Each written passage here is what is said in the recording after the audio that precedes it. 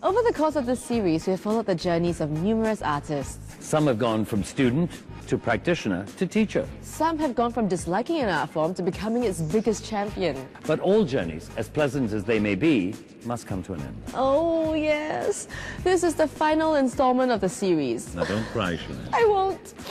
Before we go, we've got two more journeys to take you through. The tabla player, who went from being a classically trained purist, To someone who's known for combining different musical genres. and a watercolor artist who has made a name for himself capturing scenes of Singapore's past. One is a story of growth and change. And the other is about how development forced an artist to stand his ground. This is Young at Art.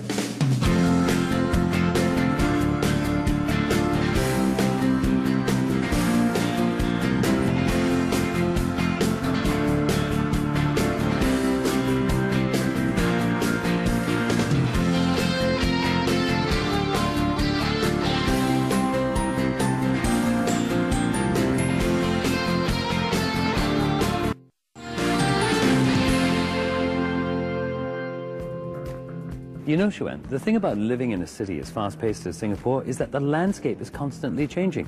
Buildings are here today, gone tomorrow. Yeah, I feel like Singapore has this love affair with all things new and shiny. Well, I guess the old has to make way for the new, right? You're not talking about me, are you? No? Why would I do that? Anyway, all this redevelopment and urbanization comes at a price to our history and heritage. Yes, and I think this next artist will agree with you. He's a watercolor artist who has made a name for himself painting scenes from Singapore's fleeting past. You know, the late Della Butcher was an avid supporter of his. She founded the Della Butcher Gallery, and she was a champion of Singapore art in the 80s and 90s. She was, and she said that his solo exhibitions have been distinguished by their moods of tranquility and philosophy. Now, in art critic speak, you know what that means? What? He was really good.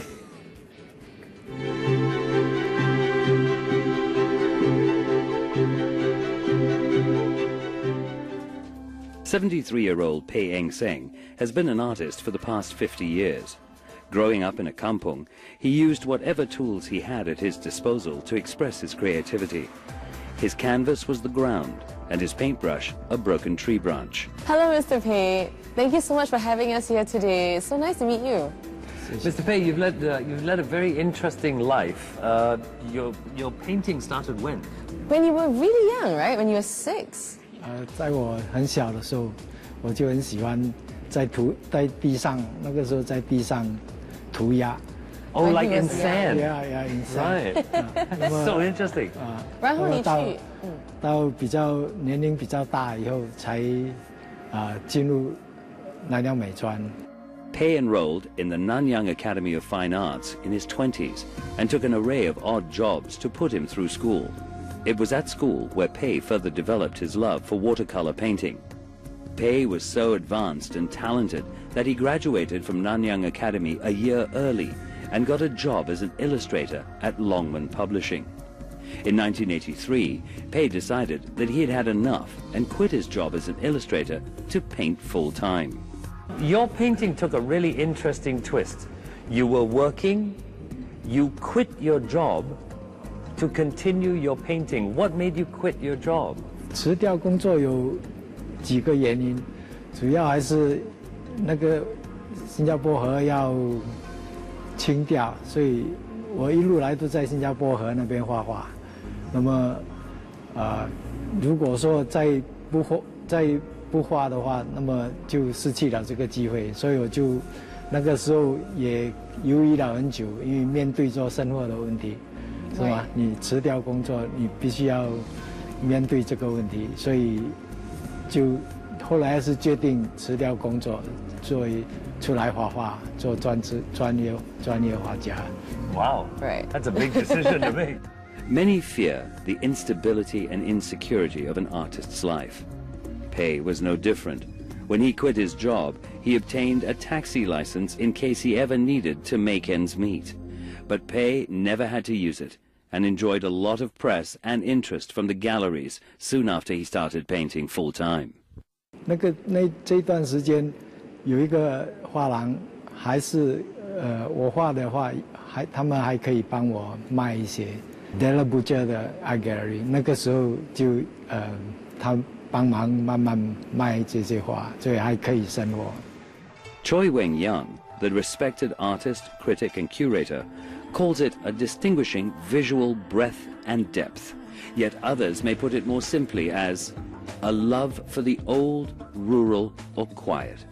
Peh's most beloved watercolor paintings are of old Singapore, the Chinatown series, the Singapore River series, and Little India series.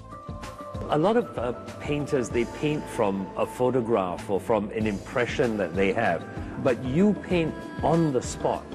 Why, why do you decide to paint on the spot? 呃，画照片跟画在外面当场画有两个不同点。画照片你只能够跟着照片的呃限制，就是没有那个气氛，没有那个感觉。第二个原因，第二个原因就是呃，在外面画那些人的活动，那些人的那个生活方式，很多不同的那些啊。场景会给你不同的感觉，所以画出来的东西不一样。But as Singapore grew more developed and more of its past started disappearing, so did the subjects that Peh loved to paint. So much of Singapore has become modern, it's become very hard, it's become, I don't know, in my mind, unpaintable. What, what do you find in Singapore that you can still paint? Singapore 越来越新，有时候很难找到你喜欢画的那些景物，不容易。不过现在已经比较少了，所以我通常就跑出去国外作画比较多。Over the course of his career, Peh has amassed a vast and impressive body of work, covering a diverse range of subjects and destinations. But his trademark style and sensibilities are evident throughout. You're, you're 73 years old now, right? Yes. Okay. Um, it's been a long artistic career for you. Do you ever get tired of doing what you're doing? 哎，这个越画越有劲，越画越有劲。当你进入这个画画的门槛以后，你会越画呢，你会感觉你越不够；越画呢，你会感觉越多东西你要去追求，就好像爬山一样，一山还有一山高。Watercolor painting is used in art therapy to help people with anxiety, depression, and other health conditions. Dr. Arnold Bresky, a leading authority on memory improvement, has created a program called the Brain Tune-Up. This program uses art therapy to help patients with Alzheimer's and dementia to improve their memories. Dr. Bresky claims that his program has seen a success rate of 70% he believes that by drawing and painting, patients are connecting the right and left hemispheres of the brain and growing new brain cells, which leads to better memory. As you've gotten older, do you find that you're beginning to slow down? 没有这样的想法，是只要身体健康允许，我会更加更加积极的画画画。 How has painting actually helped your body? Has it helped you stay young? Has it help, how, does, how does it help you? 啊，我觉得画画来讲啊，你心情全部投入在画面上，所以一些不三不四的想法都会放开，只有画跟你，所以这个是，我觉得这个对身体来讲是非常有好处的。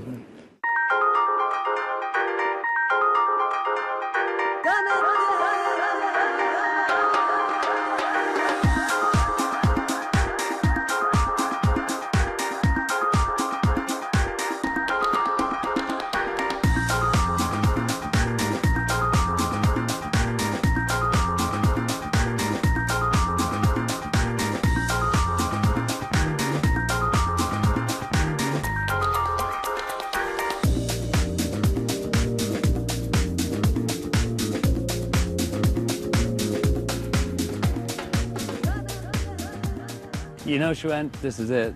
Yes, it is. Now don't cry, okay? I won't. Okay. During the course of this series, we met so many interesting and inspirational people. And some of them decided to pursue their passions later on in life, like grandma rocker Mary Ho, There was the professional ballroom dancer Vincent Tu. and also Madame Ko, who only started learning ballet in her 60s. Then again, there were those who had spent their entire lives honing their craft. Like Malay dance choreographer Som Said, There was Chinese opera performer Madame Go Siu Gyok. and tabla extraordinaire Maniam, as well as the watercolor artist Peh Eng Seng. Now, no matter what, there was this one common thread that ran through, and that was their dedicated, single-minded determination to pursue the passion of the art they love so deeply. You know, FD, I really must admit, I'm getting a bit emotional just thinking about all these people that we've Please, met. Xuan, do not cry. I said I won't. Xuan, I said don't cry. you're not cry now. Okay, FD, relax, relax. It's okay, it's okay. Breathe, breathe. Pull yourself together. It's okay. It's all right. Okay. Okay, good, good. Well, thank you so much for watching. We hope you've enjoyed watching it as much as we've enjoyed making it. This has been Young at Art.